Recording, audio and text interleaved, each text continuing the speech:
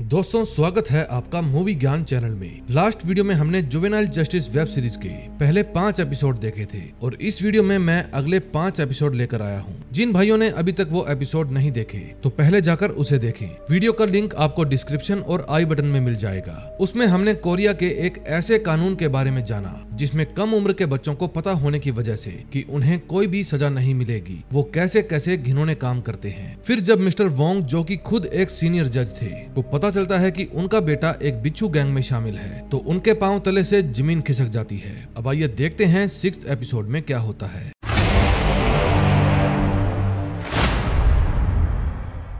Six episode में हम देखते हैं जब मिस्टर वोंग को पता चलता है कि उनका बेटा भी बिच्छू गैंग में शामिल था, जिसने पेपर लीक किया तो उनके पाँव तले से ज़मीन खिसक जाती है। अब वो ये सोच रहे थे कि इतने साल सही न्याय करने के बाद उन्हें अपने खुद के बेटे को सजा देनी पड़ेगी, क्योंकि इस केस में बहुत सारे बड़े लोगों के बच्चे शामिल थे, और अब पूरे देश की नज़र इसी खबर पर टिकी हुई थी। फिर वोंगजंग अपने घर आते हैं, और अपने घर के सामने पुलिस देखकर घबरा जाते हैं। फिर पूछने पर उन्हें पता चलता है कि पास में ही एक एक्सीडेंट हो गया है, और उसी की जाँच करने के लिए पुलिस वाले यहाँ पर आए हुए थे। दूसरी तरफ़, योनसुक के हस्बैंड को उसकी फ़िक्र हो रही थी। उसका हस्बैंड भी एक नामी वकील है, लेकिन वो योनसुक के पास इसलिए आया था क्योंकि योनसुक काफ़ी दिनों से डॉक्टर के पास नहीं गई थी और उसने अपनी थेरेपी भी लेना बंद कर दिया था। फिर वो योनसुक को अपना ध्यान रखने के लिए कहता है और अपने बीते हुए बुरे समय को भूलने के लिए कहता है, लेकिन योनसुक उनकी एक भी बात नहीं सुनती और कहती है कि हमारा रिश्ता आज से पाँच साल पहले ही खत्म हो गया था और मैं आपके लिए पाँच साल पहले ही मर गई थी। अब तुम्हें यहाँ पर दोबारा आने की कोई ज़रूरत नहीं है। और फिर योनसुक अपने घर चली जाती है। योनसुक के चेहरे पर एक अजीब सा ही दर्द था और पता चल रहा था कि वो पिछले पाँच सालों से इस दर्द को झेलती आ रही है। जब से वो यहाँ पर आई थी, उसने अपना सामान भी नहीं खोला था। उसके घर में दो बॉक्स थे, जिनको वो बार बार देखा करती थी। दूसरी तरफ़ मिस्टर वोंग अपने घर आते ही अपने बेटे पर बहुत गुस्सा होते हैं, क्योंकि उन्होंने बहुत पहले ही अपने बेटे को बिच्छू गैंग छोड़ने को कहा था। लेकिन उनके बेटे ने ऐसा नहीं किया। दरअसल बिच्छू गैंग को उनके स्कूल का एक टीचर चलाता था, और उसके अलावा किसी और को नहीं पता था कि बिच्छू गैंग में कितने स्टूडेंट्स हैं। मिस्टर वोंग को सबसे ज़्यादा डर इस बात का था कि कहीं इस बात के बाहर आते ही उनसे मेयर की कुर्सी न छीन जाए, और अगर उस टीचर ने इनके बेटे का नाम बता दिया तो इनकी बहुत बदनामी भी होगी। फिर इनके बेटे को भी चीटिंग करने के जुर्म में बाल सुधार केंद्र में भेज दिया जाएगा। फिर नेक्स्ट डे मिस्टर वोंग अपने जजिस को बताते हैं कि लॉर्ड जस्टिस हाई स्कूल में पेपर लीक के मामले में 21 बच्चों पर मुकदमा चलाया जाएगा, जिनमें से तीन बच्चों के ऊपर बाल अपराध और बाकी बच्चों पर चीटिंग का मुकदमा चलाया जाएगा। वोंग जंग इस केस का इंचार्ज भी इयोन सुक को ही बनाते हैं और जो तीन बच्चे सस्पेक्ट थे, उनका इंचार्ज जज चा को बनाया जाता है, ताकि वो इस केस को जल्द से जल्द खत्म कर पाए। तभी न्यूज़ में दिखाया जाता है कि कोरियन नेशनल पार्टी ने अपने आने वाले चुनावों में मिस्टर वोंग को मेयर बनाने की घोषणा की है और ये न्यूज़ आग की तरह कोरिया में फैल जाती है। इस समय सिमयू भी यही न्यूज़ देख रहा था। उसने खुद को पुलिस के हवाले करने का डिसाइड कर लिया था। लेकिन अगर ये बात बाहर आती है तो चीफ जज वोंग की बहुत बदनामी होगी। फिर उसे अपने पापा की कही हुई बात याद आती है कि मरना है तो अकेले मरो। मुझे इस सब मामले में मत घसीटो। फिर सीमयू थाने के सामने जाकर आत्महत्या करने की कोशिश करता है। फिर जब मिस्टर वोंग को इस बात का एहसास होता है तो वो बहुत रोते हैं। क्योंकि अगर उन्होंने अपने बेटे को समझा होता तो शायद आज उसकी ये हालत नहीं होती। फिर उनकी बेटी अपने बेटे की इस हालत का जिम्मेदार मिस्टर वोंग को ही ठहराती है और बताती है की मेरा बेटा हमेशा खुश रहने की कोशिश करता है, लेकिन तुम्हें अपनी पोजीशन के आगे कुछ भी नहीं दिखता। अपने बेटे की ऐसी हालत देखकर मिस्टर वोंग पूरी तरह से टूट जाते हैं। अब अगले दिन इस केस की सुनवाई थी। जहाँ Yeonsuk lord justice high school के सोयुक ह्यून नाम के लड़के पर पेपर लीक की कार्रवाई करती है और वहाँ पर उनका टीचर भी मौजूद था। दरअसल बच्चों को एस एन यू यूनिवर्सिटी में एडमिशन लेने के लिए अच्छे ग्रेड्स की ज़रूरत थी और लॉर्ड जस्टिस हाई स्कूल इसमें नंबर वन पोजीशन पर था। लेकिन पिछले कुछ सालों में बच्चों के ग्रेड्स नीचे जा रहे थे और इसीलिए स्कूल वाले खुद ही अपना पेपर लीक करवा देते हैं ताकि बच्चों को अच्छे मार्क्स मिल सके और वे सभी एस एन यू यूनिवर्सिटी में दाखिला ले सके। फिर जब योनसुक शोयुक ह्यून की माँ से पूछती है कि आपको क्या लगता है कि आपके बेटे ने जो किया है, वो सही है या गलत? तो उसकी माँ कहती है कि मैं ही नहीं, बल्कि हर एक फैमिली चाहती है कि उनके बच्चे अच्छे स्कूल में पढ़े और उसके बाद अच्छी यूनिवर्सिटी में जाए। और इसके लिए अगर उनको अपने हाथ गंदे करने पड़ते हैं तो इसमें कोई गलत बात नहीं है। दूसरी तरफ़ मिस्टर वोंग असेंबली मैन से कहते हैं कि वो ये इलेक्शन नहीं लड़ रहे, क्योंकि मेरा बेटा बिच्छू गैंग में शामिल था, इसलिए मैं अपना नाम वापस लेना चाहता हूँ। फिर असेंबली लीडर उन्हें समझाता है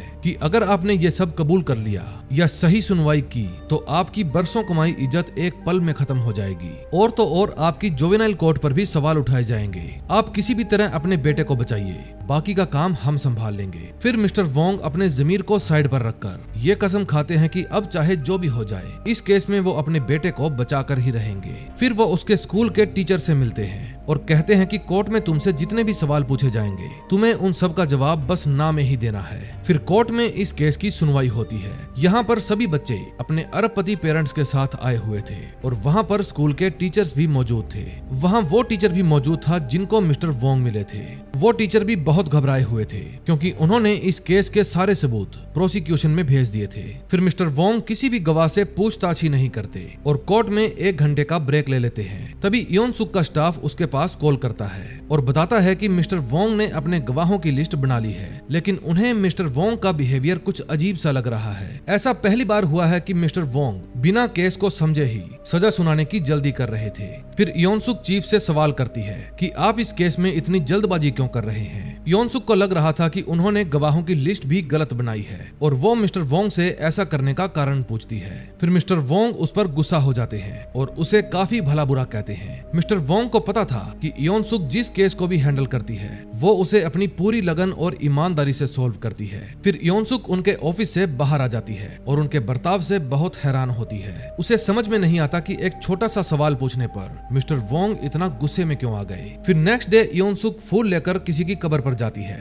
लेकिन तभी उसे याद आता है कि जब वो कोर्ट रूम में उन बच्चों की दलीलें सुन रही थी तो उस बच्चे ने बताया था कि बिच्छू गैंग में और लोग भी शामिल थे, जिनके नाम अभी भी बाहर आने बाकी हैं। उसने बताया कि जब मैं अपने टीचर के पास नए रिज़ल्ट पूछने गया तो मैंने उन्हें फ़ोन पर बात करते हुए सुन लिया था कि पेपर लीक मामले में 21 नहीं बल्कि 24 बच्चे थे। अब यौन सुख सारी बात समझ जाती है कि इस केस में और भी स्टूडेंट शामिल हैं, जिन्हें उस पेपर के आंसर बताए गए थे। इसके बाद यौन सुख उन सभी बच्चों के पेपर्स और आंसर शीट मंगवाती है और उनको बहुत ही ध्यान से चेक करती है। फिर उसे इंग्लिश की आंसर शीट से पता चलता है कि कुछ बच्चों ने तो पेपर बिना देखे ही आंसर को गलत लिख दिया है। वो समझ जाती है कि स्कूल ने पेपर नहीं बल्कि आंसर शीट लीक करी थी और इस केस में इंग्लिश टीचर ही मेन गवाह था। लेकिन चीफ जज ने तो उसे शामिल ही नहीं किया था। अब उसे बस उन तीनों बच्चों को ढूंढना था, जिन्होंने फाइनल एग्ज़ाम होने के बाद बिच्छू गैंग को छोड़ दिया था। लेकिन तभी योनसुक की नज़र मिस्टर वोंग के बड़े बेटे सिम यू पर जाती है और उसे ये पूरी कहानी समझ में आ जाती है कि मिस्टर वोंग अपने बेटे को बचाने के लिए इस केस के सभी गवाहों को हटा रहे हैं। फिर योनसुक और चा सिमयू से मिलने के लिए हॉस्पिटल जाते हैं, लेकिन मिस्टर वोंग उन दोनों से यहाँ पर आने का कारण पूछते हैं। योनसुक बताती है कि इस केस में और भी बच्चे शामिल थे, जिन्होंने जाँच शुरू होने से पहले ही बिच्छू गैंग को छोड़ दिया था, और उनमें से एक आपका बेटा भी है। सर, आपने अपने पद का गलत फ़ायदा उठाया। आपने अपने बेटे को बचाने की कोशिश की, इसलिए प्लीज़ आप खुद को पुलिस के हवाले कर दीजिए, और इसी के साथ सिक्स एपिसोड का भी एंड हो जाता है। अब नेक्स्ट एपिसोड में देखते हैं क्या होता है।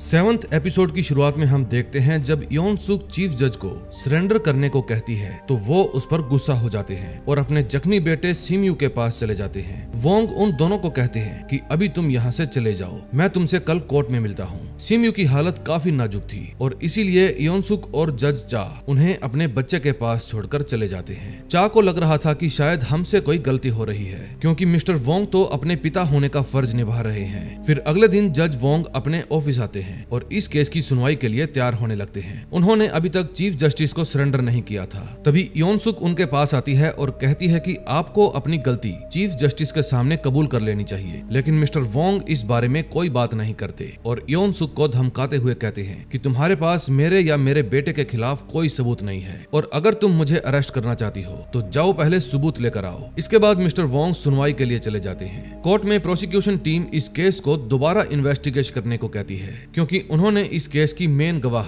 स्कूल की इंग्लिश टीचर को शामिल ही नहीं किया था। और इसीलिए प्रोसिक्यूशन चाहती थी कि इस केस की दोबारा से जाँच हो और सबके साथ न्याय हो। लेकिन जज साहब उनकी इस मांग को ठुकरा देते हैं और कहते हैं कि इस केस का फैसला आज ही होगा। ये बात सुनते ही योनसुक कहती है कि आगे की कार्रवाई एक घंटे बाद होगी, क्योंकि उसे बहुत अच्छे से पता था कि इस केस की सुनवाई सही से नहीं हो रही। इस बात के लिए चीफ योनसुक पर गुस्सा हो जाते हैं, क्योंकि उसने पूरी अदालत के सामने ही चीफ जज की बेइज्जती कर दी थी। चीफ चीफ जज वोंग कहते हैं कि तुम्हारी इस गलती के लिए मैं तुम्हें जज के पद से हटा भी सकता हूँ, लेकिन योनसुक भी चुप नहीं रहती और कहती है कि मेरे होते हुए किसी के साथ भी अन्याय नहीं होगा। और अब मैं खुद ही चीफ जस्टिस को ये सारी बात बता दूँगी। फिर वोंग उसे धमकाते हुए कहते हैं कि अगर तुमने ऐसा कुछ भी किया तो मैं तुम्हारा पूरा करियर खा जाऊँगा। फिर योनसुक इस बारे में सोचने लगती है, क्योंकि रिकॉर्ड में सीम्यू का नाम ही नहीं था। चा भी जज की इस बात से सहमत थे, क्योंकि उनके पास सीम्यू के खिलाफ एक भी पक्का सबूत नहीं था। लेकिन योनसुक इस बात से पीछे हटने वाली नहीं थी। इसलिए वो खुद ही इस केस को इन्वेस्टिगेट करना शुरू कर देती है और लॉर्ड जस्टिस हाई स्कूल में जाती है। वहाँ उसे पता चलता है की जिन 18 बच्चों को पेपर्स मिले थे, उन सबने स्कूल छोड़ दिया है और इस बात से उन्हें कोई फ़र्क नहीं पड़ता, क्योंकि स्कूल के ग्रेड्स उन्हें मिल चुके थे। अब उनका यूनिवर्सिटी में एडमिशन लेना पक्का था और स्कूल का एक रूल था कि अगर बच्चे खुद स्कूल छोड़ते हैं तो इसका उनके ग्रेड पर कोई भी इफ़ेक्ट नहीं पड़ता। क्योंकि अगर स्कूल उनको निकालता तो उन बच्चों का ग्रेड ज़ीरो हो जाता और अब उन्हीं 18 बच्चों की वजह से फिर से एग्ज़ाम करवाए जा रहे थे। अब उन सभी बच्चों को दोबारा से मेहनत करनी पड़ेगी, जबकि ये टाइम तो नई एडमिशन करने का था। दोस्तों, इस तरह के पेपर लीक से सिर्फ़ वही बच्चे इफ़ेक्ट होते हैं, जो दिन रात मेहनत करते हैं, और ना पढ़ने वाले बच्चे उनका हक छीन कर ले जाते हैं। अब ये सारी बात जानने के बाद चाह योन सुख की हेल्प करने के लिए तैयार हो जाते हैं, क्योंकि गलत लोगों को सजा देना उनकी ज़िम्मेदारी बनती है, और अगर वो ही इन जिम्मेदारियों से भागेंगे तो ये सब ऐसा ही चलता रहेगा। अगले दिन योन सुख चीफ जस्टिस को सब कुछ बता देती है, और जब मिस्टर वोंग चीफ जस्टिस के सामने आते हैं तो वो योन सुख को वहाँ पर देखकर भड़क जाते हैं। वो चीफ जस्टिस के सामने ही योन सुख पर चिल्लाने लगते हैं। लेकिन इस बार योन सुख के पास एक पक्का गवाह था। जो कोई और नहीं बल्कि खुद मिस्टर वोंग का बेटा सिम्यू था। दरअसल सुनवाई से पहले योन योनसुक सिम्यू से मिलने गई थी और उसने ही सिम्यू को समझाया था कि उसके गवाही न देने से ना जाने कितने लोगों की ज़िंदगी खराब हो जाएगी। योन योनसुक की बातों से सिम्यू का दिल पिघल जाता है और वो पुलिस को सब कुछ सच सच बता देता है। अब ये सारी बात चीफ जस्टिस को पता चल गई थी और वो उन तीनों को वहाँ से जाने को कहते हैं और सोचते हैं की अब इस केस में आगे क्या करना चाहिए। बाहर जाने के बाद मिस्टर वोंग योनसुक से पूछते हैं की तुम मेरे साथ ऐसा कैसे कर सकती हो। फिर योनसुक उन्हें बताती है कि आप पिछले कई सालों से जुबेनाइल एक्ट में बदलाव लाने की कोशिश कर रहे हैं और इसीलिए आप पॉलिटिक्स भी ज्वाइन करना चाहते हैं। लेकिन अब आप खुद ही अपने ही असूलों को तोड़ने वाले थे और आपके एक गलत फैसले से ना जाने कितने बच्चों का भविष्य तबाह हो जाएगा। मिस्टर वोंग की एक आदत थी कि वो अपने हर केस को अपनी डायरी में लिखा करते थे और उस फैसले के बारे में भी लिखते थे जो उन्होंने सुनाया है। फिर योनसुक उनसे पूछती है कि इस केस का फैसला सुनाने के बाद आप उस डायरी में क्या लिखते, कि आपकी वजह से ही ना जाने कितने लोगों के साथ अन्याय हुआ है? योन सुख की बात सुनकर मिस्टर वोंग समझ जाते हैं कि उन्होंने जो कुछ भी किया, वो सरासर गलत था और वो अपने गुनाहों को चीफ जस्टिस के सामने कबूल कर लेते हैं। फिर अगले दिन क्राइम ब्यूरो वाले मिस्टर वोंग के सारे सामान को सीज कर लेते हैं और उनको उठाकर अपने साथ ले जाते हैं। अब मिस्टर वोंग को उनके पद से हटा दिया गया था और अब से चीफ जस्टिस खुद सिम्यू के केस की सुनवाई करेंगे। सुनवाई के समय मिस्टर वोंग भी वहाँ पर आए हुए थे। फिर चीफ जस्टिस सिम्यू को दो साल के लिए सुधार केंद्र में भेज देते हैं। अब कोरियन पार्टी ने भी अपने आने वाले चुनाव में मिस्टर वोंग को मेयर के पद से हटा दिया था। फिर मिस्टर वोंग के ऊपर एक कमेटी बिठाई जाती है, जहाँ उनको उनके जॉब से निकाल दिया जाता है। कमेटी खत्म होने के बाद मिस्टर वोंग अपना सामान लेने के लिए कोर्ट जाते हैं, जहाँ उनका स्टाफ उनको आखिरी गुड बाय कहता है। दूसरी तरफ़ चा के पास मिस्टर वोंग के कुछ ज़रूरी पेपर्स आए थे, जिनमें एक तस्वीर भी थी, जिसको देखकर चा समझ जाता है कि उसकी लाइफ को बदलने वाला इंसान कोई और नहीं, बल्कि मिस्टर वोंग ही थे, जिन्हें वो इतने दिनों से ढूंढ रहा था। अब ये बात जानते ही वो चीफ के पास जाता है और उसके सामान को उसकी कार तक छोड़ने के लिए जाता है। वो मिस्टर वोंग को शुक्रिया कहता है और उनके सम्मान में उनके जूते के लेसिस भी बांधता है। जैसे बचपन में मिस्टर वोंग बांधा करते थे। जब चा का जोबेनाइल कोर्ट में पहला दिन था तो चीफ ने उसे तुरंत ही पहचान लिया था और वो चा की सफलता को देखकर बहुत ही खुश हुए थे। दूसरी तरफ़ योनसुक भी चीफ को बहुत ही मिस कर रही थी, क्योंकि हो ना हो, वो एक अच्छे जज थे। फिर वो चा को कहती है कि अब सब कुछ बदलने वाला है और फिर वे दोनों फैसला करते हैं कि अब चाहे जो कुछ भी हो जाए, हम दोनों अपनी ज़िम्मेदारी से पीछे नहीं हटेंगे। उसके बाद हम दोसियोक को देखते हैं, जिसने एक गाड़ी किराए पर ली थी और वो उस गाड़ी को फुल स्पीड में चला रहा था। पुलिस उसे रोकने की कोशिश करती है, लेकिन वो उनसे बचता हुआ भाग रहा था। उसकी कार में उसके कुछ दोस्त भी थे, जो उसको कार और भी तेज भगाने को बोल रहे थे। लेकिन तभी उसकी कार एक बाइक से टकरा जाती है और उसका एक्सीडेंट हो जाता है। ये टक्कर इतनी भयानक थी कि वो बाइक वाला आदमी वहीं पर अधमरा हो जाता है। फिर इस केस की फ़ाइल योन सुख के पास ही आती है, जिसमें एक सत्रह साल के बच्चे ने फर्जी डॉक्यूमेंट्स दिखाकर एक कार किराए पर ली थी और ओवर स्पीड करते हुए एक आदमी को रोन दिया था। जब वो एक्सीडेंट करके वहाँ से भाग रहे थे तो पुलिस ने उन्हें पकड़ लिया। अब वो ड्राइवर डोसियोक और वो बाइक वाला आदमी दोनों ही हॉस्पिटल में एडमिट थे। बाइक सवार की हालत बहुत ही गंभीर थी। फिर फ़ाइल पढ़ते समय वो डोसियोक को देखती है और उसके होश ही उड़ जाते हैं, क्योंकि डोसियोक वही लड़का था जिसे वे दोनों रेस्टोरेंट में मिले थे। उसको बाल सुधार केंद्र से छुटे बस कुछ ही दिन हुए थे और वो लड़का सिक्योरिटी गार्ड की जॉब करना चाहता था। फिर चा इस केस में डोसियोक का नाम देखकर चौंक जाते हैं। फिर वो उन सबको बताते हैं कि डोसियोक ऐसा लड़का नहीं है। उसने मुझसे प्रोमिस किया था कि वो छूटने के बाद दोबारा जुर्म नहीं करेगा। लेकिन योनसुक उसकी एक भी नहीं सुनती, क्योंकि सारे सबूत और गवाह उसके खिलाफ थे, और उसकी वजह से ही एक आदमी का एक्सीडेंट हो गया था, और वो आदमी ज़िंदगी और मौत के बीच झूल रहा है। अब काफ़ी देर हो चुकी थी, इसलिए योनसुक उसे घर जाकर आराम करने को कहती है, क्योंकि अभी वो कुछ भी समझने की स्थिति में नहीं थे। फिर अगले दिन योनसुक उस केस की सुनवाई करती है, जहाँ वो उन चारों बच्चों से पूछताछ करती है जो उस समय कार में बैठे थे।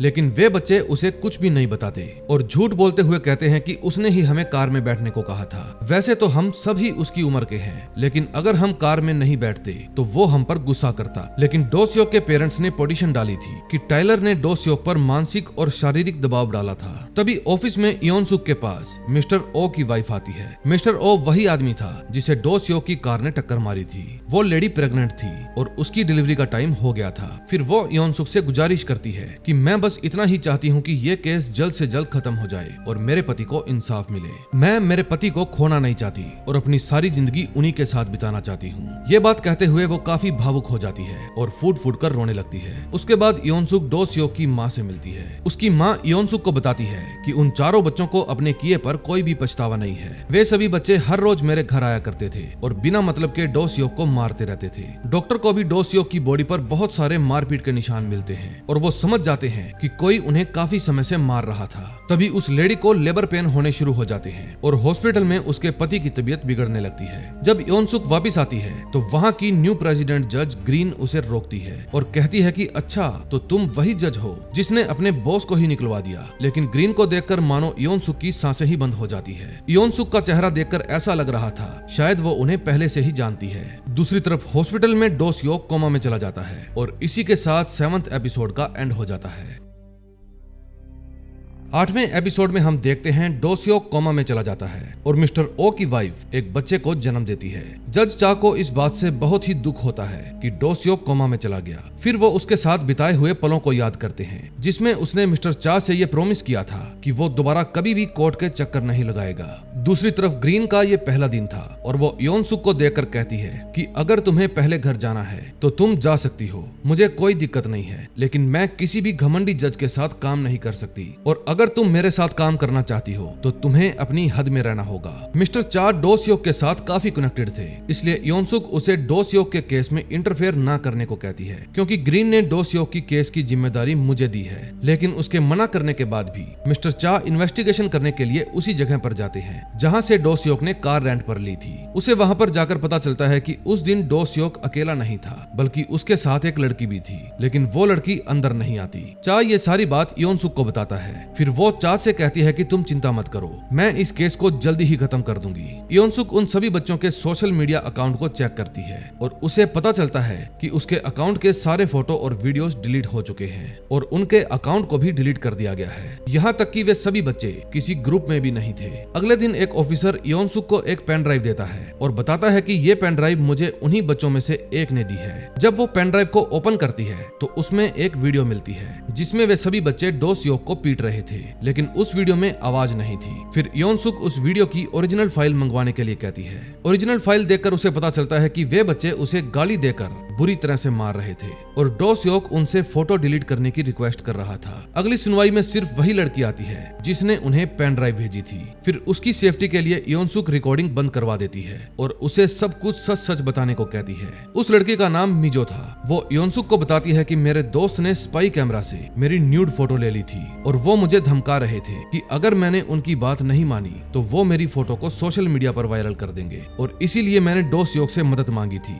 लेकिन उन सभी ने उसे बहुत मारा और उसे ब्लैकमेल करके गलत काम करवाए। उन सबको पहले से ही मालूम था कि डोस योग के पास ड्राइविंग लाइसेंस नहीं है, लेकिन फिर भी उन सबने उसे मजबूर किया और उसे फेक डॉक्यूमेंट्स दिए ताकि वो उन डॉक्यूमेंट्स को दिखाकर कार रेंट पर ले ले। और इसके बाद उन सबने मेरी प्राइवेट फ़ोटो डिलीट कर दी। लेकिन तभी योनसुक के पास कॉल आती है और उसे पता चलता है कि मिस्टर ओ अब नहीं रहे। मिस्टर ओ के मरते ही ये केस प्रोटेक्शन केस नहीं, बल्कि क्रिमिनल केस बन गया था। अगले दिन योनसुक और चा चीफ जज से इस केस के बारे में डिस्कस कर रहे थे। उन्हें लग रहा था कि अब उन्हें इस केस के लिए और समय चाहिए, ताकि पीड़ित परिवार को सही न्याय और मुआवजा मिल सके। लेकिन ग्रीन योनसुक की एक भी नहीं सुनती। वो उन दोनों को इस केस को जल्दी से जल्दी खत्म करने के लिए कहती है, चाहे इसमें विक्टिम को इंसाफ मिले या ना मिले, क्योंकि उसके काम करने का तरीका ऐसा ही है। वो कभी भी किसी भी केस में पर्सनली इन्वॉल्व नहीं होती और केस खत्म होने के बाद उसे भूल जाती है। अगले दिन तीनों जज इस केस की सुनवाई करते हैं। अब उन बच्चों पर जितने भी आरोप लगाए गए थे,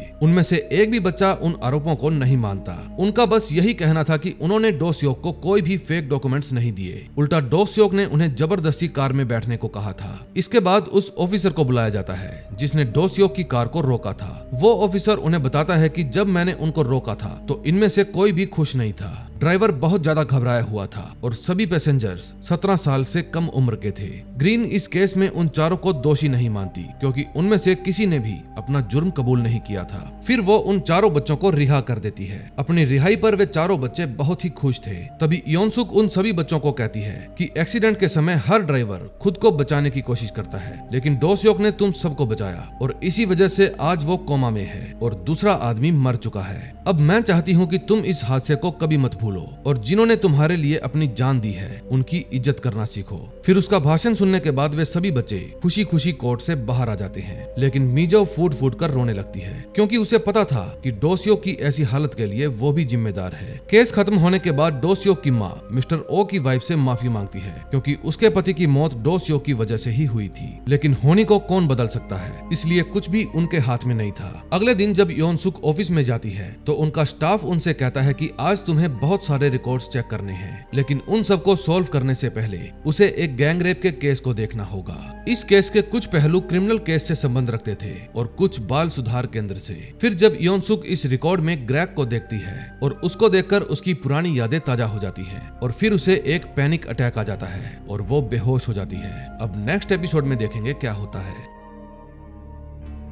नाइन्थ एपिसोड की शुरुआत में हम योनसुक को हॉस्पिटल में एडमिट देखते हैं, क्योंकि ग्रैग की केस की फ़ाइल देखकर उसे पैनिक अटैक आ गया था और वो बेहोश हो गई थी। योनसुक की रिपोर्ट में उसके किसी भी फैमिली मेंबर की कोई भी जानकारी नहीं थी और न ही उसमें किसी भी फैमिली मेंबर का कॉन्टेक्ट नंबर था। अब क्योंकि मिस्टर चा ही उसे यहाँ लाए थे तो डॉक्टर्स उसे ही इसका गार्डियन समझ लेते हैं। फिर डॉक्टर बताते हैं की ये काफ़ी दिनों से खाना नहीं खा रही है और न ही टाइम से सो रही है। ज़्यादा स्ट्रेस लेने की वजह से ही इसकी ऐसी हालत हुई है। फिर डॉक्टर योनसुक को कुछ दिनों के लिए यहीं पर एडमिट रखने को बोलते हैं। लेकिन योनसुक वहाँ पर नहीं रुकना चाहती थी और अपने घर जाना चाहती थी। फिर मिस्टर चा योनसुक को उसके घर ले जाते हैं और उसे आराम करने को कहते हैं। फिर जब वो उसके खाने के लिए सामान लेने किचन में जाते हैं तो देखते हैं वहाँ पर पानी तक नहीं था। फिर योनसुक उन्हें घर जाने को कहती है। लेकिन घर जाने से पहले मिस्टर चा योनसुक के दरवाजे पर कुछ खाने पीने का सामान रख देते हैं। अब इतनी खराब हालत होने के बाद भी योनसुक ऑफ़िस आ जाती है, क्योंकि वो इस केस को भी सुलझाना चाहती थी।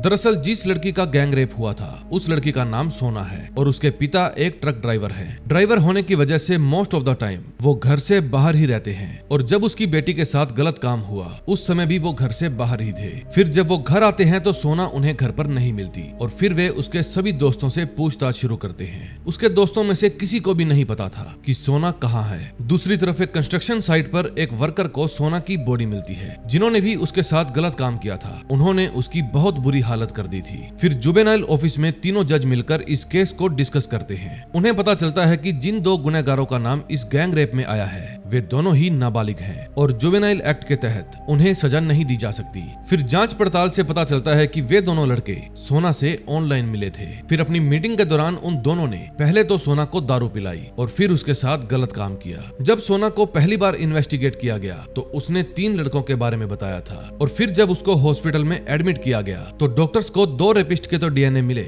लेकिन उन्हें ग्रैग का डीएनए नहीं मिला। दूसरी तरफ़ ग्रैग ने अपने कन्फेशन में कहा था कि मुझे इसके बारे में कोई जानकारी नहीं थी कि वे दोनों दारू पीने के बाद सोना का रेप कर देंगे। मैंने अपने दोस्तों को समझाने की बहुत कोशिश की थी, लेकिन उन्होंने मेरी एक भी नहीं सुनी। ग्रैग कहता है कि जब उसका रेप हुआ, मैं तो वहाँ पर मौजूद भी नहीं था, इसलिए मुझे सिर्फ़ प्रोटेक्शन एक्ट के तहत ही सजा होनी चाहिए। फिर उसकी बातें सुनने के बाद ग्रीन योनसुक को उसका केस संभालने को कहती है, और मिस्टर चा को बाकी के रेपिस्ट का इन्वेस्टिगेशन करने को कहती है। लेकिन योनसुक अकेले ही इस केस को हैंडल करना चाहती थी, लेकिन ऐसा नहीं होता, और वो दोनों चीफ जज के ऑफ़िस से बाहर आ जाते हैं। मिस्टर चा योनसुक से पूछता है कि क्या तुम्हारे घर में कोई और नहीं है? क्योंकि हॉस्पिटल में तुम्हारी फ़ाइल पर किसी का भी नाम नहीं था। फिर योनसुक उसे बताती है कि मेरी कोई फैमिली नहीं है और आज से पाँच साल पहले ही मैंने उन्हें छोड़ दिया था। फिर मिस्टर चा अपने दोस्त के साथ डिनर करने जाते हैं। जहाँ वो अपने दोस्त से सुख के बारे में पूछते हैं। फिर उनका दोस्त बताता है कि सुख की लाइफ में कोई बड़ा हादसा हुआ था और उसके बाद उन्होंने काफ़ी लंबी छुट्टी ली और इसी हादसे की वजह से उन्होंने अपने पति तक को छोड़ दिया। फिर उस हादसे के कुछ दिनों बाद सुख ने स्ट्रिक्ट जज बनकर अपनी ड्यूटी ज्वाइन की। अब नेक्स्ट डे इस केस की पहली सुनवाई होती है। सुनवाई के बाद चीफ जज ग्रीन उन दोनों रेपिस्ट के केस को सुख को सौंप देती है और मिस्टर चा को ग्रैग का केस देती है। लेकिन सुख दोनों ही केस को अकेले ही हैंडल करना चाहती चाहती थी, लेकिन ग्रीन उसे मना कर देती है, क्योंकि बीते हुए कुछ दिनों से योनसुक की तबीयत काफ़ी खराब चल रही थी और डॉक्टर ने भी उसे रेस्ट करने को कहा था। फिर अपने कैबिन में वापस आते ही योनसुक मिस्टर चा को कहती है कि तुम इस केस को छोड़ दो, मैं इस केस को अकेले ही सोल्व कर लूँगी, लेकिन चा उन्हें कोई भी जवाब नहीं देते। फिर रात के समय मिस्टर चा ग्रैक की फ़ाइल देखते हैं, जहाँ उसे पता चलता है की जब ग्रैक बहुत छोटा था, तब उसने और उसके दोस्त ने मिलकर एक छोटे बच्चे को ईंट फेंक कर मारी थी, जिसके कारण ऑन द स्पॉट उस बच्चे की डेथ हो गई थी। और इस केस का फैसला चीफ जज ग्रीन ने ही सुनाया था। फिर नेक्स्ट डे योनसुक ग्रीन के पास जाती है और रिक्वेस्ट करती है की आप मुझे ग्रैक के केस का इंचार्ज बना दे। लेकिन चीफ तो उसकी बातों को टाल देती है, क्यूँकी वो योनसुक को बस एक घमंडी जज ही मानती है। फिर उसके बाद योनसुक अपने ऑफ़िस में आ जाती है और चा को एक ऑडियो फ़ाइल सुनाती है। उस फ़ाइल को सोना के पिता ने रिकॉर्ड किया था, जब वो ग्रैग से मिलने गए थे। रिकॉर्डिंग में ग्रैग कहता है कि शराब पीने के बाद सोना हमारे साथ कुछ ज़्यादा ही फ्रेंडली हो गई थी और हम सब कुछ उसकी मर्ज़ी से ही करने वाले थे, लेकिन ज़्यादा पीने की वजह से वो बेहोश हो गई और इसी वजह से उन सबने मिलकर उसका गैंग कर दिया। लेकिन पुलिस इस रिकॉर्डिंग को सबूत नहीं मानती, क्योंकि पुलिस को ऐसा लग रहा था कि सोना के पिता ने ग्रैग को मार पीट कर उससे ये सब कुछ उगलवाया है, और इसी वजह से पुलिस ने उन्हें अरेस्ट भी कर लिया था। अब इस सबूत को स्क्रैप कर दिया जाता है। दूसरी तरफ़ ग्रैग के ऊपर अब तक सात मुकदमे चल चुके थे, जिसके कारण उसको कानून का बिल्कुल भी डर नहीं था। फिर योनसुक और मिस्टर चा दोनों ही इस केस को क्रिमिनल केस बनाने का डिसाइड करते हैं। फिर अगले दिन ग्रीन योनसुक से पूछती है कि आखिर तुम ग्रैग के केस को लेकर इतनी पागल क्यों हो? योनसुक उसे ये नहीं बताती कि ग्रैग ने ही उसके बेटे की जान ली थी, बल्कि वो ग्रीन से कहती है कि मुझे बाल अपराधियों से सख्त नफरत है, और इसी बात पर ग्रीन उसे ग्रैग का केस ट्रांसफ़र कर देती है। दूसरी तरफ़ मिस्टर चा कोर्ट में एक लड़की का केस देख रहे थे। तभी लड़की का पिता बताता है की मेरी वाइफ पाँच साल पहले ही मुझे छोड़कर भाग गई थी, और तब से ही मैंने अपनी बेटी को अकेले पाला है। लेकिन जब वो बड़ी हुई तो वो भी घर छोड़कर भाग गई। इसके बाद मिस्टर चा उस लड़की के पिता से अकेले में बात करते हैं, और कहते हैं कि तुम्हारी पत्नी के भाग जाने के बाद तुम अक्सर नशे में ही रहा करते थे और जब भी तुम्हारी बेटी तुमसे बात करने की कोशिश करती थी तो तुम हमेशा ही उस पर चीखते चिल्लाते रहते थे और इसीलिए ही आपकी बेटी अब भी आपके साथ नहीं जाना चाहती। फ़िलहाल मैं उसे जोबिनाइल सेंटर में भेज रहा हूँ और वहीं पर जाकर ये तय होगा कि उसे आपके साथ भेजना चाहिए या नहीं। वहाँ पर हम ये भी पता करेंगे कि आपकी बेटी पिछले दो महीनों से क्या कर रही थी और अकेले रहने के लिए उसके पास पैसे कहाँ से आ रहे थे। दूसरी तरफ़ योनसुक के पास उसका एक्स हस्बैंड आता है और उसको ये केस छोड़ने को कहता है, क्योंकि उसे पता चल गया था कि ग्रैग का केस योनसुक हैंडल कर रही है। वो योनसुक को इन सबसे दूर रहने को कहता है, क्योंकि अपने बच्चे की मौत से योनसुक एकदम टूट चुकी थी। उसका हस्बैंड कहता है कि, अगर तुम इस केस को नहीं छोड़ोगी तो मैं खुद चीफ जज को सारी बात बता दूँगा। लेकिन योनसुक अपने हस्बैंड की एक भी बात नहीं सुनती। अब कहानी पास्ट में जाती है, जहाँ हम योनसुक को कोर्ट में देखते हैं। तभी उसके पास एक कॉल आती है, और उसे पता चलता है की एक्सीडेंट की वजह से उसके बेटे की मौत हो गई है। अब इस बात को जानते ही योनसुक पैदल ही भागते हुए अपने बच्चे के स्कूल जाने लगती है और रास्ते में लोगों से मदद मांगती है, लेकिन कोई भी उसकी हेल्प करने के लिए आगे नहीं आता। दरअसल ग्रैग ने अपने साथियों के साथ मिलकर जिस लड़के को ईट फेंक कर मारा था, वो योनसुक का ही बेटा था और उसके बेटे की ऑन द स्पॉट ही डेथ हो गई थी। बस एक यही कारण था, जिसकी वजह से योनसुक बाल अपराधियों से नफरत किया करती थी। अब कहानी प्रेजेंट में आती है और योनसुक ग्रेग के केस की पहली सुनवाई करती है। उसके ऊपर आरोप था कि उसने फेक आईडी दिखाकर शराब खरीदी थी और फिर सोना को ज़बरदस्ती ड्रिंक पिलाई। वो सोना को ब्लैकमेल करता है कि अगर उसने उसकी बात नहीं मानी तो वो उसकी न्यूज़ पिक्चर सोशल मीडिया पर वायरल कर देगा। फिर ग्रैक की लॉयर उसके बचाव में कहती है कि ग्रैक उनसे बाल सुधार केंद्र में मिला था। वे लोग उससे शराब और नशे की कई चीज़ें मंगवाया करते थे और अगर ग्रेग उनकी बातें नहीं मानता था तो वो सब मिलकर उसे मारते थे। इसके बाद योनसुक उससे एक आखिरी सवाल करती है कि अगर तुम उन दोनों से इतना डरते थे तो उस दिन तुम में उन दोनों को रोकने की हिम्मत कहाँ से आ गई? अगर रिकॉर्ड्स की माने तो उस दिन तुम क्राइम सीन पर गए ही नहीं थे। फिर तुमने सोना को बचाने की कोशिश कैसे की? अब कहानी फ्लैशबैक में जाती है। दरअसल केस की सुनवाई से पहले योनसुक खुद क्राइम सीन पर गई थी, लेकिन उसे वहाँ पर कोई भी खास सबूत नहीं मिला। फिर जब वो उस कंस्ट्रक्शन साइट से बाहर आई तो उसकी नज़र एक कैब पर पड़ी। जिसका डैश कैम ऑन था। कैमरा चेक करने पर उसे पता चलता है कि उन सबने ज़बरदस्ती सोना को दारू पिलाई थी। जिसके कारण वो बेहोश हो जाती है और फिर वे तीनों उसे कंस्ट्रक्शन साइट के अंदर ले गए और उसके साथ गलत काम किया। अब इस वीडियो से साबित हो जाता है कि अब तक ग्रैग ने जो भी बयान दिए थे, वो सब फर्जी थे। फिर योनसुक उसे अगली सुनवाई तक बाल सुधार केंद्र भेज देती है और कहती है की अगली सुनवाई में अगर तुमने सब कुछ सच सच नहीं बताया तो मैं इस केस को प्रोसिक्यूशन में भेज दूँगी और फिर तुम पर क्रिमिनल केस चलाया जाएगा। केस खत्म होने के बाद मिस्टर चा योनसुक को बताते हैं कि इस गैंग रेप में एक और लड़का भी शामिल था, जिसका नाम मार्शल है और ये वही लड़का है जिसके साथ ग्रैग ने मिलकर योनसुक के बेटे की जान ली थी। अब उसका नाम सुनते ही योनसुक के होश उड़ जाते हैं। अब वो किसी भी हालत में अपने बेटे के दोनों कातिलों को सजा सुनाना चाहती थी, लेकिन तभी लोबी में योनसुक की सास आ जाती है और वो सबके सामने ही योनसुक को थप्पड़ जड़ देती है। फिर वो कहती है कि तुम मेरे बेटे की लाइफ से दूर क्यों नहीं चली जाती? और कहती है कि तुम्हारे बेटे की मौत की जिम्मेदार तुम खुद थी। मैंने तुमसे कितनी बार कहा था कि तुम अपनी जॉब छोड़ दो, लेकिन तुमने मेरी बात नहीं मानी। और देखो, आज क्या हो गया। ये सारी बातें सुनकर योनसुक पूरी तरह से टूट जाती है और साइड में बैठकर फूट फूट कर रोने लगती है। अब उसके सारे जख्म हरे हो गए थे और जब वो अपने घर के पास पहुँचती है तो वहाँ पर उसका एक्स हस्बैंड पहले से ही मौजूद था। वो उससे अपनी माँ की हरकतों की माफ़ी माँगता है और कहता है की आगे से कभी भी ऐसा नहीं होगा। लेकिन योनसुक उसे दोबारा यहाँ न आने के लिए कहती है। दरअसल, योनसुक का हस्बैंड खुद भी अपने बेटे की मौत के सदमे से बाहर नहीं आ पाया था और इसी के साथ इस एपिसोड का एंड हो जाता है। लास्ट एपिसोड की शुरुआत में हम चीफ जज ग्रीन को देखते हैं, जिसके पास कोर्ट से ऑर्डर आया था, जिसमें ग्रैग के पुराने क्राइम्स के बारे में लिखा हुआ था। फिर वो अपने कंप्यूटर में ग्रैग की क्राइम फ़ाइल देखने लगती है और उसको पता चलता है कि पाँच साल पहले उसने ही उसे सजा सुनाई थी। फिर उसे योनसुक के बारे में भी पता चलता है कि वो उसी बच्चे की माँ है, जिसको ग्रैग ने ईट मारकर मार दिया था। इसके बाद ग्रीन योनसुक को अपने कैबिन में बुलाती है और कहती है कि तुमने ये केस मुझसे जानबूझ कर लिया था, ताकि तुम अपने मरे हुए बेटे का बदला ले सको। लेकिन योनसुक ग्रीन से कहती है कि मैंने ये केस आपसे इसलिए लिया था ताकि मैं ग्रैग को ये एहसास दिला सकूँ कि उसने जो कुछ भी किया है। उसके लिए कानून उसे सख्त से सख्त सजा देगा। वो हर बार क्राइम करके बच नहीं सकता। आपके एक गलत फैसले की वजह से आज उसने एक लड़की का गैंग रेप कर दिया। उस समय वो भले ही छोटा था, लेकिन उसे सजा मिलनी चाहिए थी। लेकिन आपको तो केस खत्म करने की जल्दी थी। आपने तो उस केस को सही से पड़ा तक नहीं था। और मेरे बच्चे के हथियारे को बस दो चार दिन जनता की सेवा करने की सजा दी थी। ग्रैक को तो अफसोस भी नहीं था कि उसकी फेंकी हुई ईट ने मेरे पूरे परिवार को तबाह कर दिया। अब कोर्ट का एक नियम है कि अगर विक्टिम उनकी लाइफ से किसी भी तरह से जुड़ा हुआ है तो वो इस केस को नहीं लड़ सकते।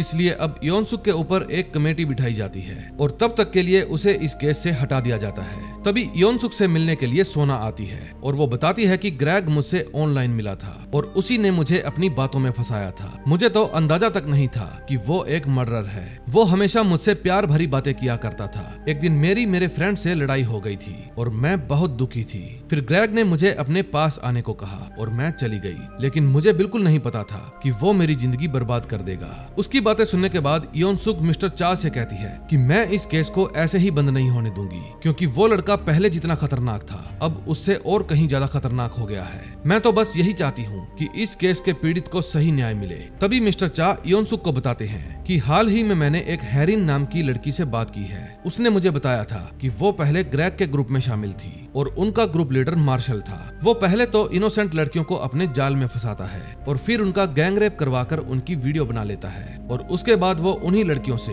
धंधा भी करवाता है। वो खुद ही कस्टमर लाता है और उनसे मोटा माल कमाता है। मार्शल कभी भी उन लड़कियों को एक भी रुपया नहीं देता और इसीलिए मैंने उसे छोड़ दिया था। ये सब जानने के बाद योनसुक खुद मोटल में जाती है ताकि वो मार्शल के बारे में और भी जानकारी जुटा सके। वहाँ जाकर वो एक लड़की से बात करती है। जो पहले मार्शल की जीएफ भी थी। वो योनसुक को बताती है कि मार्शल वैश्यावृत्ति का बिज़नेस करता है। फिर योनसुक मोटल के सीसीटीवी कैमरे चेक करवाती है, जहाँ उसे उन तीनों के साथ मार्शल भी दिख जाता है। तभी मार्शल की गर्लफ्रेंड योनसुक को उसका पता बता देती है। फिर योनसुक उस जगह पर पहुँच जाती है, जहाँ पर मार्शल उन लड़कियों की वीडियो बनाया करता था। उसका पूरा रूम कंप्यूटर कैमरा और डीवीडी से भरा हुआ था, जहाँ जूतों से भरा हुआ एक कलेक्शन भी था। ये सभी उन्हीं लड़कियों के जूते थे, जो मार्शल के झांसे में आ गई थी। मार्शल उन लड़कियों को अपने झांसे में लेकर गलत काम किया करता था और उनकी वीडियो ऑनलाइन भेजा करता था। फिर जब वो कंप्यूटर की छानबीन करती है तो योन सुख को वहाँ पर एक भी सबूत नहीं मिलता, क्योंकि इस केस के सामने आते ही उसने सारी वीडियोस पहले से ही डिलीट कर दी थी, लेकिन तभी वहाँ पर मार्शल आ जाता है। वो बिल्कुल साइको की तरह दिखता था। फिर वो योन सुख पर हमला कर देता है। फिर योन सुख कहती है की तुम दोनों में से किसी एक को तो सुधरना था, लेकिन तुम दोनों तो उससे भी बुरे बन चुके हो। अब ये बात मार्शल को समझ में नहीं आती की आखिर ये लेडी मुझसे चाहती क्या है। फिर वो योनसुक को दोबारा मारने लगता है और चाकू से उस पर हमला कर देता है। बाजू पर चाकू लगने की वजह से योनसुक दर्द से तड़पने लगती है और फिर वो अपनी जान बचाने के लिए एक ईट से मार्शल पर वार करती है। अब कुछ देर के लिए तो उसकी जान बच गई थी, लेकिन मार्शल फिर से उठ खड़ा होता है और योनसुक का गला दबाने लगता है। वो योनसुक को अधमरा कर देता है, लेकिन तभी वहाँ पर पुलिस आ जाती है और योनसुक को बचा लेती है। मौका देखकर मार्शल वहाँ से भाग जाता है। फिर योनसुक जख्मी हालत में ही चीफ जज ग्रीन के पास जाती है और उनको मार्शल के गैंग की सारी बात बता देती है। ग्रैग के केस को अब चीफ जज ग्रीन ही हैंडल कर रही थी। फिर योनसुक उनसे गुजारिश करती है कि प्लीज़ इस बार आप पूरी सच्चाई से फैसला सुनाना। अब अगले दिन इस केस की सुनवाई होनी थी। फिर कोर्ट में जाने से पहले ग्रीन योनसुक की बताई हुई हर एक बात पर विचार करती है। इस फैसले की सुनवाई पर योनसुक तो नहीं जा सकती थी, लेकिन मिस्टर चा कोर्ट में ही मौजूद थे। वहाँ पर मार्शल भी पहले से ही मौजूद था और उसको वहाँ पर एक गवाह के तौर पर बुलाया गया था। फिर ग्रैग जज के सामने कुछ भी कबूल नहीं करता। और यही बताता है कि वे दोनों रेपिस्ट मुझे धमकाया करते थे और उन्हीं दोनों ने मुझे कंस्ट्रक्शन साइट पर बुलाया था। फिर ग्रीन इस बात का उससे सबूत मांगती है, लेकिन उसके पास ऐसा कोई भी सबूत नहीं था। फिर चीफ जज ग्रीन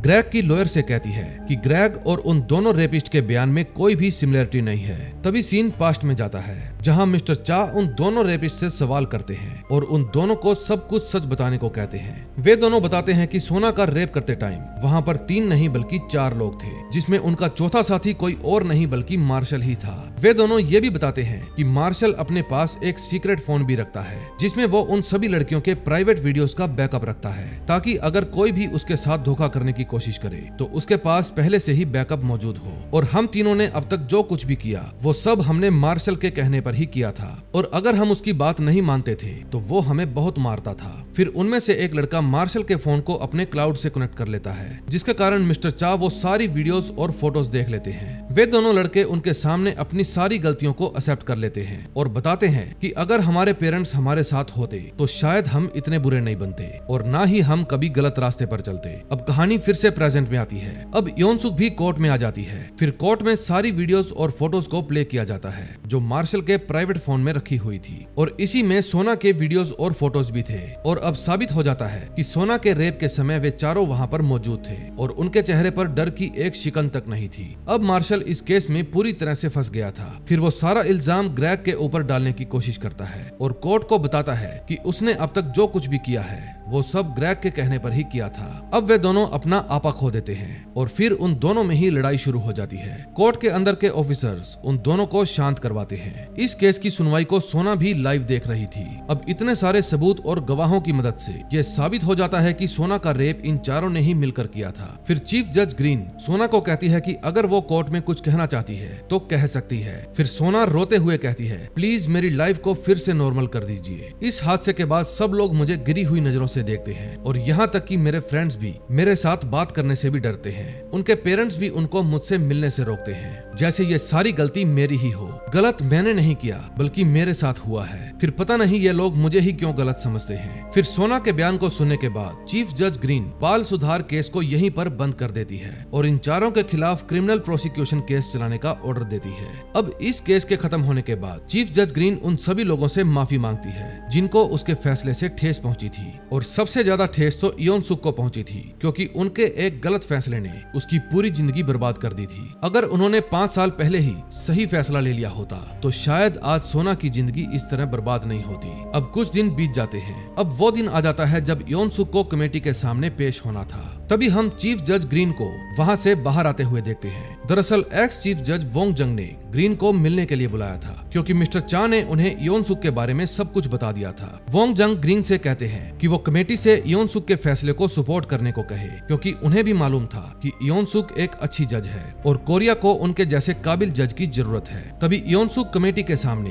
अपनी हर एक गलती को स्वीकार कर लेती है, और जिस तरह से वो बाल अपराधियों के साथ पेश आती थी, उसके लिए भी माफ़ी मांगती है। क्योंकि बीते हुए कुछ केसों में वो जिनको अपराधी समझ रही थी, दरअसल वे तो विक्टिम्स थे। वो कहती है कि मैं बाल अपराधियों से अभी भी नफरत करूँगी, लेकिन मेरे नफरत करने का तरीका थोड़ा अलग होगा। फिर योनसुक मिस्टर चा को भी सॉरी बोलती है, और मिस्टर चा भी उनसे माफ़ी मांगते हैं, क्योंकि अब उन्हें पता चल गया था कि योनसुक बाल अपराधियों से नफरत क्यों करती थी। लेकिन उसकी एक खूबी भी थी कि वो पीड़ितों को इंसाफ दिलाने के लिए अपनी हर एक हद पार कर देती थी। फिर उसके बाद योनसुक अपने घर वापस आ जाती है, और अपने घर में पड़े हुए उन दोनों बॉक्स को खोलती है। उन बॉक्स में उसके बच्चे के खिलौने थे। फिर वो अपने बेटे के सामान को देखने लगती है, और बहुत इमोशनल हो जाती है। फिर वो एक बुके लेकर अपने बेटे की कब्र पर जाती है और अंत में वो अपने बच्चे के सारे सामान को जला देती है और उसे हमेशा के लिए इस दुनिया से अलविदा कह देती है। फिर कुछ दिन बाद योनसुक एक बुक पब्लिश करती है। फिर वो उस बुक को मिस्टर वोंग जंग के पास भेजती है, क्योंकि उस बुक में वोंग जंग की लिखी हुई हर एक बात थी और उस बुक में ये भी लिखा था कि कैसे वो जोबिनाइल एक्ट को बदल सकते हैं और इसी के साथ इस सीरीज़ का एंड हो जाता है। तो दोस्तों, ये सीरीज़ आपको कैसी लगी? कमेंट में ज़रूर बताना और अगर अब तक आपने हमारा चैनल सब्सक्राइब नहीं किया तो प्लीज़ कर लेना। हम ऐसी ही वीडियोस आप लोगों के लिए लाते रहते हैं। हम मिलेंगे नए दिन नई वीडियो के साथ। Till then bye bye